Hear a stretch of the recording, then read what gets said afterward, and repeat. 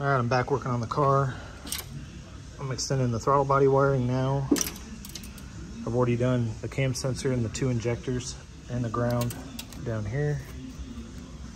Uh, got the front end test fit again. I need to adjust the big hose coming out of the dryer just to be able to push the fender over a little more. Got the battery in the trunk. I'm not keeping these terminals on here. They were just a quick fix just so I can be able to try to start the car up. But I uh, need to make a ground wire for the engine block to frame and I should be able to crank it up here shortly.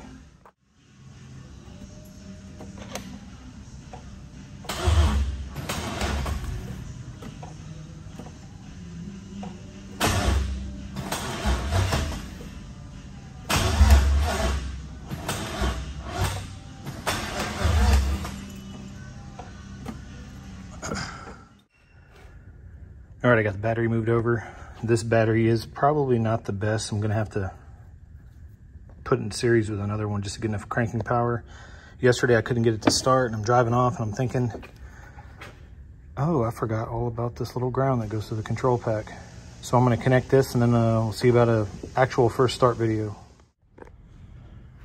All right, let's see if the hard work pays off.